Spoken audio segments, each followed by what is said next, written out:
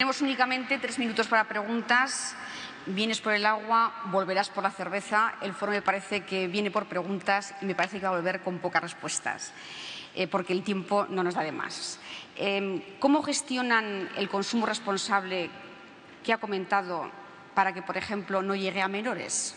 Bueno, primero, el, el, sector tiene un código de autorregulación que cumplimos todos los cerveceros españoles. Es un ejemplo en Europa que es eh, limitar la comunicación en publicaciones destinadas a colectivos de menor de, 18 años evidentemente pues eh, siendo muy respetuosos con lo que es ese acuerdo.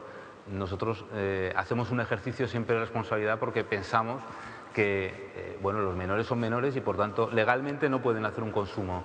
Y, aunque bien es cierto que el producto es un producto para adultos, es un producto eh, que eh, bueno, pues requiere una contención eh, para que estos menores, cuando lleguen a su vida adulta, puedan llegar. Nosotros estamos, por la labor de, siempre en las visitas que hacemos a fábricas, en colectivos siempre mayores de 18 años, es hablarle del consumo moderado y de un consumo que es natural y que se hace compartiendo con la comida.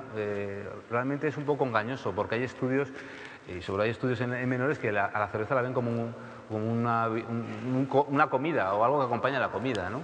Bueno, en principio, como digo, cumplimos un código de autorregulación. Muy bien, gracias. ¿Tiene previsto un plan de expansión a nivel nacional?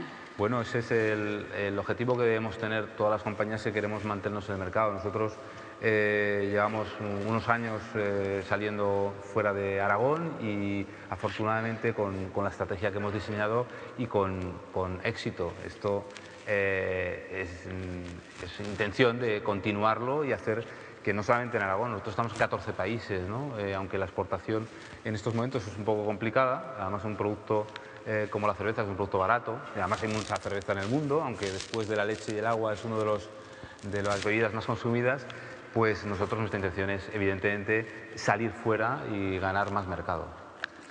Hablando de salir fuera, por aquí preguntan también cuando la mayoría de las industrias salen del núcleo urbano, ¿por qué su fábrica continúa en el centro de la ciudad? Pues un poco lo justificado en, lo que es, un, eh, riqueza patrimonial. Eh, les aseguro que cuando se va a ciudades eh, históricas que he mencionado, el primer referente turístico lo es estas fábricas.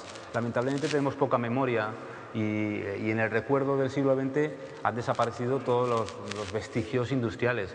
Eso es una lástima. Mm, los pocos que quedan eh, pues han reconvertido, y digo que son pocos a la, cultura. En nuestro caso eh, lo hacemos compatible, siempre atendiendo pues bueno, todo, el que sea, eh, se haga una convivencia pues lo más fácil a, a quien nos circunda y bueno, nuestra compañía está abierta, no es contaminante, es un lugar y un espacio lúdico, en fin, es productivo pero, pero no contaminante.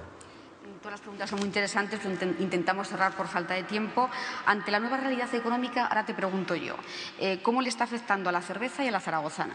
Bueno, afortunadamente el producto cerveza es un producto barato, eso y el que renuncia a un placer tan intenso como una, tomarse una cervecita, pues, pues ya es estar en mucha crisis, ¿no? En mucha crisis. Evidentemente eh, el mercado está complicado y, la gente a lo mejor en el, pan de molde pues renuncia a la corteza, eh, a poner, bueno, a, que no tenga corteza y compra pan de molde con corteza. Pero claro, lo de la cerveza eh, con otro tipo de calidad, pues mm, yo creo que estamos hechos a unos determinados gustos y afortunadamente pues mm, nos estamos, estamos resistiendo ¿no? un poquito, pero eh, nos lo están poniendo difícil la situación para todos. Bueno, pues el diálogo con líderes de opinión como tú es una estrategia excelente para enriquecernos. Enhorabuena por tu intervención y muchísimas gracias. Gracias.